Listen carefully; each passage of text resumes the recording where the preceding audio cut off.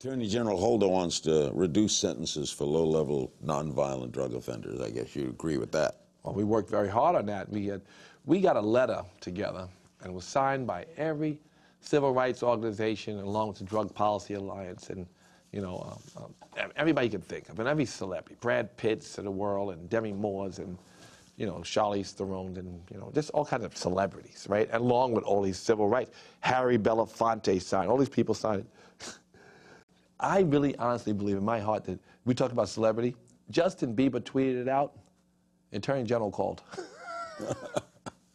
26 million people he had then. So the, the fact is, when something goes pop, when it goes commercial, when everybody's talking about something that's obviously unjust and wrong, then politicians have to move. Dr. Karl Menninger, the great psychiatrist, late great psychiatrist, interviewed him once, said the greatest failure systematically in America is prison. Oh, that's no question. Prison is a failure.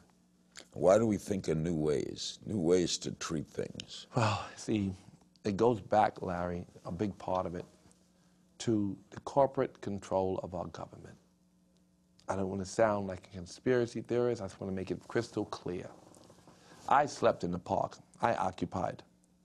I think that if you can legally bribe a politician, then that points to a very flawed democracy. And our democracy is deeply flawed because of the fact that we can buy our politicians. That's our reality.